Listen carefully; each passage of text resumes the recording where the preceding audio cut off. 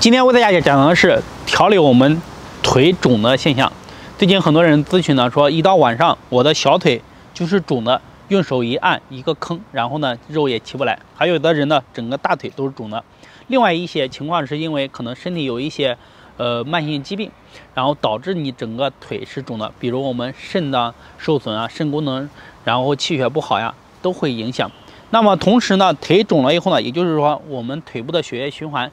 气血循环也是差的。那今天呢，我给大家讲，一定要认真听，可以点赞收藏。在练习的过程中有什么问题，可以在下方和我评论。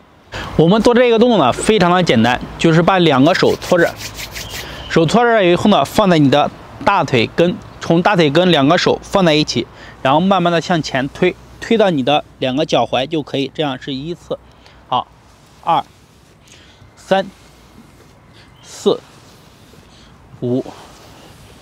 这样去做。如果说你像我这样做的比较高，你可以做一个比较矮的凳子，或者是坐在一个平面上，拿一个瑜伽垫铺在地上，然后去做就可以，然后去推。这样呢，推一百次。要是比较严重的家人们，可以推到一百次以上，做到三百次。而且我们推的时候呢，一定要记住一个重点，就是不用力，把手放在。你的衣服就这样贴着它往下推就行，一、二、三、四、五、六，好，这样一百次。你要是一边腿肿，两边都要推。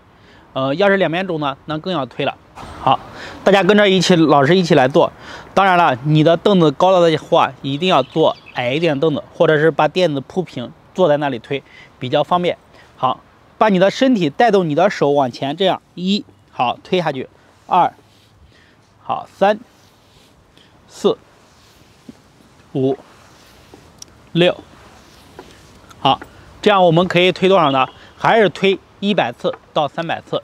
像你经常的腿肿啊，然后上班站了一天回来以后呢，小腿啊都是肿的。有些人腿肿了以后呢，发沉，走路无力。这种情况呢，每天把你的腿按老师教的这样推一推。我现在教的是坐在这里，有机会呢，给大家录一个，把垫子铺平，坐的比较平的去推，那样的话，呃，比这坐着更加的柔和。